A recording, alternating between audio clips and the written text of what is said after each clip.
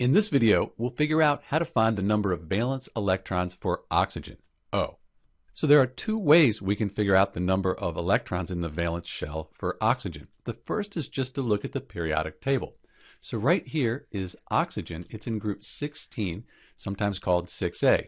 That means it has six valence electrons. Sulfur, that's also in group 16. It has six valence electrons. So that's the first way to figure out the number of valence electrons for oxygen. The second way is to write the electron configuration. So oxygen has an atomic number of 8. That means it has 8 protons. And since it's a neutral atom, all of these are neutral atoms, it'll have 8 electrons, 8 total electrons. So if we write the configuration, we have 1s2, that shell's full. We go to 2s2, we've used 4 valence electrons. So for the 2p, we can put 4 in there. 2 plus 2 is 4, plus 6, that's 8 but we're only interested in the valence electrons for oxygen. So we're going to take the highest energy level. Think of it as the valence shell.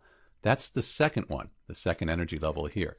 This second energy level has 2 plus 4, 6 valence electrons, just like we found before.